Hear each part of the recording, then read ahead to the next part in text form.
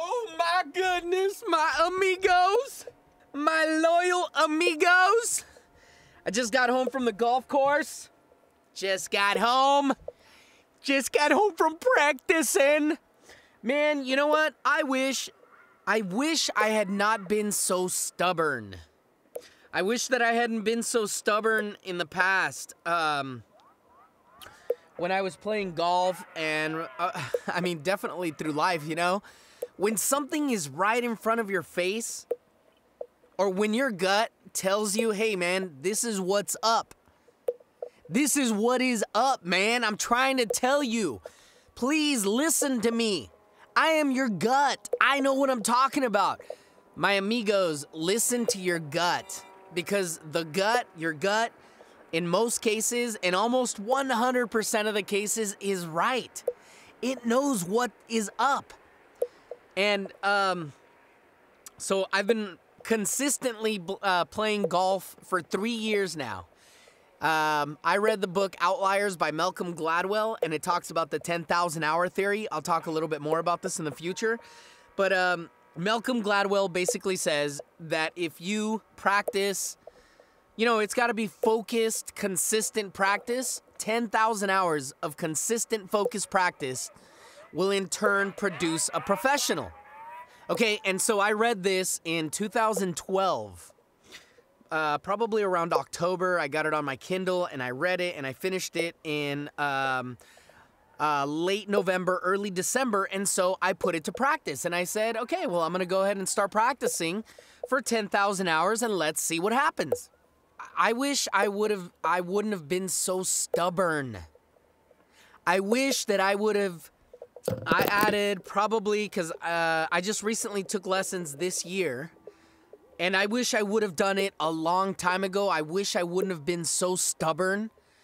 And I would have just listened to my gut, which said, no, man, just get the basics.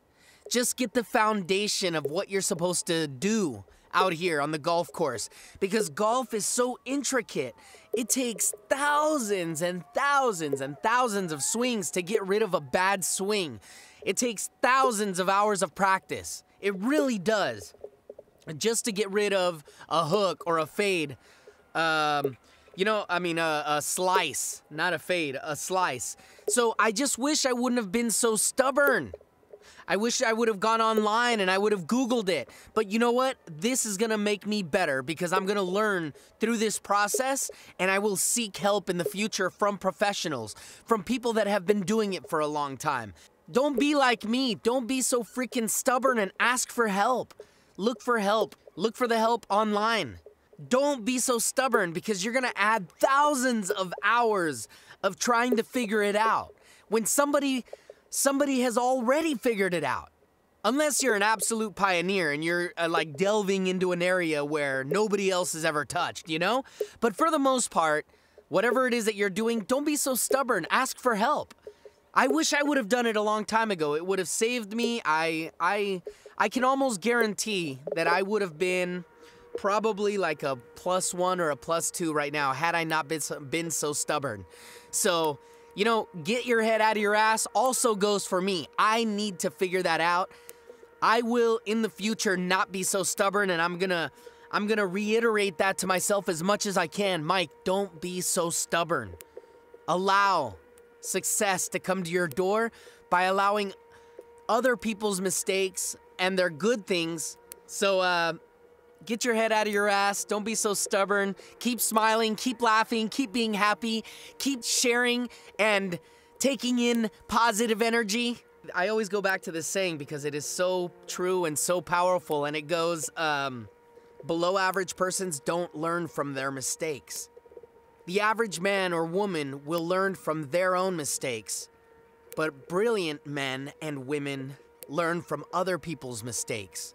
And I should have I shouldn't have been so stubborn. I should have sought help a long time ago. So, thank you so much for listening. Keep smiling, people.